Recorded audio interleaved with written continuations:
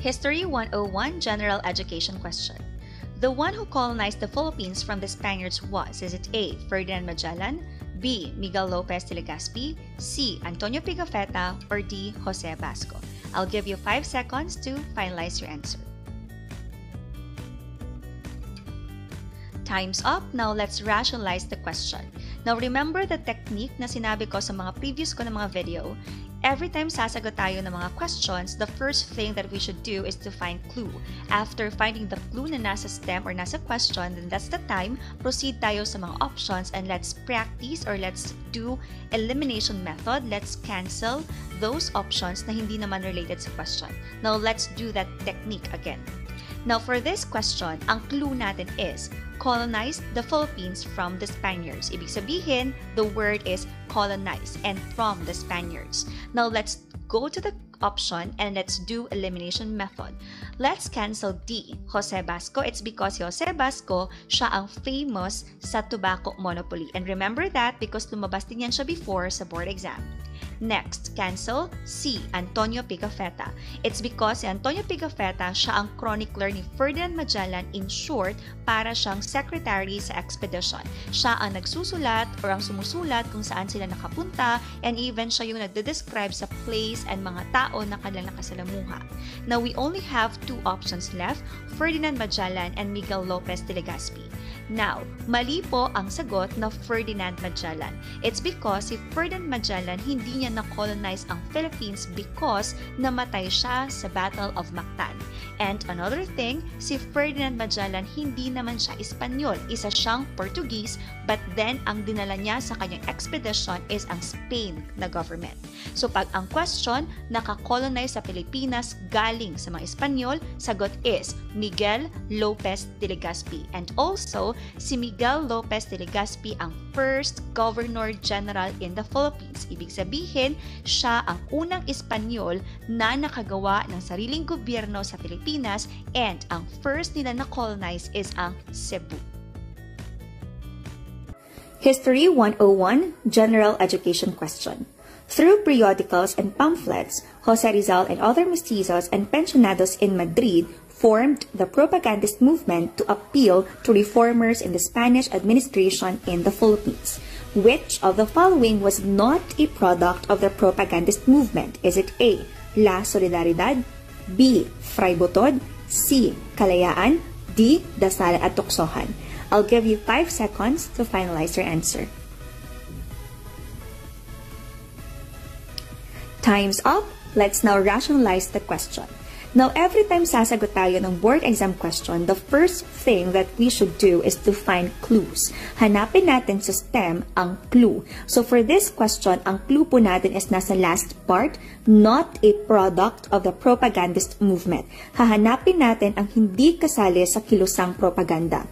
Now, what is propaganda movement? When we say propaganda movement, ito yung peaceful campaign for reforms. When we say peaceful campaign, ibig sabihin, ang laban na lang natin sa mga Espanyol ay through paper and pen, through newspapers, through pagsusulat lamang at hindi by force.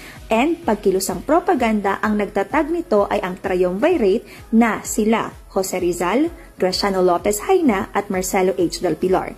Now, ang letter A na La Solidaridad, hindi po siya ang sagot. It's because when we say La Solidaridad, ito yung official na newspaper ng propagandist movement. Ibig sabihin, part siya ng propaganda. Ang hinahanap is not part. Next, B. Fray Butod. Ang Fray Butod still kasali din siya sa propaganda movement because ang writer nito ay si Graciano Lopez Hainan. Next, we only have two options left, kalayaan at ang dasalan at tuksohan. Now, based dito sa dalawa, ang correct answer is we have kalayaan. Bakit? Because ang kalayaan, yan po ang official na newspaper ng KKK. At alam natin na ang katipunan, hindi siya peaceful campaign. Ang katipunan, ang gusto nila is by force. Kaya ang hindi kasali, kalayaan. History 101 General Education Question Who was the Philippine general who lost his life in the Battle of Tirad Pass? Is it A. Jose Rizal, B. Gregorio del Pilar, C. Antonio Luna, or D. Juan Luna? Now, based on the question, ang clue po natin dito is Battle of Tirad Pass. So pag Battle of Tirad Pass, automatically i-cancel natin ang pangalan na A. Jose Rizal. Kasi hindi naman related si Jose Rizal sa Tirad Pass. Next, cancel natin si Delta, Juan Luna, si Potasio kasi siya ang sikat na painter. Next, cancel din natin si Antonio Luna kasi hindi naman siya sikat sa Battle of Tirad Pass. So for this, the correct answer is Gregorio del Pilar. Again, pag Battle of Tirad Pass, correct answer is Gregorio del Pilar. Prof. Ed 101 sample question. Which religious missionaries arrived first in the Philippines? Is it A. Dominicans, B. Franciscans, C. Augustinians, or D. Jesuits? Now, ito siya na question, isa ito sa pinakamadaling ma-remember sa board examination. Para madali nating ma-remember ang pagkakasunod-sunod ng mga missionaries na dumating sa Pilipinas, gagamit tayo ng mnemonics. When we say mnemonics, isa itong technique, isang strategy, wherein gumagamit tayo ng mga keywords or sometimes mga rhymes para mas madali nating ma-remember ang important information and makonect natin ang new knowledge sa ating prior knowledge. Now, pag ang question is more on religious missionaries in the Philippines, i-remember lang po natin ang all foreigner jump down the river banks. Again, ano yung i-remember? All foreigner jump down the river banks. All, A ang nauna, it stands for Augustinians. Foreigners, F, it stands for Franciscans. Jump, jump, J, it stands for Jesuits. Down, it stands for D, Dominicans. R, River, recollects. And then we have B, banks, Benedictines. All foreigners jump down the river banks. So pag ang question, ano ang pagkasunod-sunod ng ating early missionaries in the Philippines? We have Augustinians, Franciscans, Jesuits, Dominicans, Recollects, and Benedictines. And based on the question, the correct answer is, pag first missionary, answer is Charlie Augustinians. Again, Charlie Augustinians. Hi, let's answer another Prof Ed question.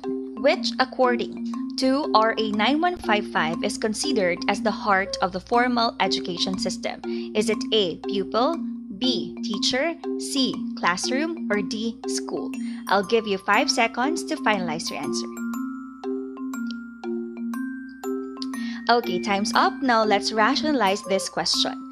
Now, in this question, ang clue natin dito is heart of the formal education system. Again, it's the heart, and this is according to RA 9155. So, may nakastipulate na batas, so needed natin i-identify kung ano yung RA 9155. Now, when we say RA 9155, it is an act instituting a framework of governance for basic education, establishing authority and accountability, renaming the Department of Education, Culture, and Sports as the Department of Education and for other purposes.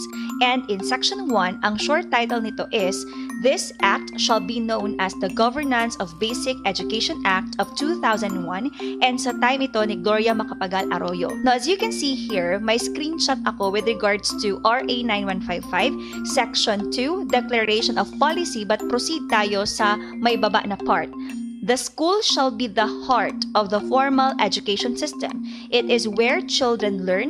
Schools shall have a single aim of providing the best possible basic education for all learners. So, verbatim, ang nakasulat, ang school, ang heart of formal education system according to RA 9155. Now, balik tayo sa question, which according to RA 9155 is considered as the heart of the formal education system. It's not the pupil, hindi ang teacher, hindi ang classroom, but the correct answer is school.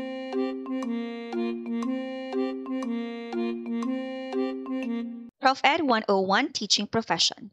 Pia took the lead last March 2015. Unfortunately, she failed in the examination. Is she qualified for the position of para teachers? Is it A? No. B. Yes, if her let rating is 71 to 74. C. Yes, if her let rating is below 75. Or D. Yes, if her let rating is 70 to 74. I'll give you 5 seconds to finalize your answer. Time's up. Let's now rationalize the question. Now, based on the question, ang clue natin dito is si Pia nag-failed sa exam. Ang question, qualified ba siya na maging para-teachers? Now, before answering this question, let's first identify ano ba yung mga para-teachers. Meron bang ganito na term? When we say para-teachers, nakastipulate yan siya under RA 9293 or also known as the Act Amending Certain Sections of RA 7836. Ano pala yung RA 7836? Yan yung Philippine Teachers Professionalization Act of 1994. Sa time ito ni Ramos, wherein nag nagkaroon tayo ng licensure examination for teachers. Ibig sabihin, ang 7836 may mga sections na na-change or na-amend pagdating sa 9293. And isa sa mga naging amendments ay ang pagkakaroon ng mga para-teachers. When we say para-teachers, ito yung mga uh, failed, mga nag-failed sa licensure examination for the professional teachers with, take note, a rating of not lower than 5 percentage points from the passing general average. Ibig sabihin, ang passing general average is we know it's 75. Ang mga para-teachers, 5 percentage points lower than 75. Ibig sabihin, ang average nila ay 70, 71, 72, 73, 74. And ang mga para-teachers, sila yung maa-assign sa areas wherein may shortage or absence of a professional teacher identified or provided by the Department of Education and the ARMM Education Department. So again, we have para-teachers that is under RA 9293 ang percentage points nila 70, 71, 72, 73, 74. Balik sa question. Ang correct answer is, we have yes and that is D. Yes, if her let rating is 70 to 74. So sila yung mga para-teachers. Pero again, hindi para-teachers ang aim natin. Kailangan LPT, Licensed Professional Teachers.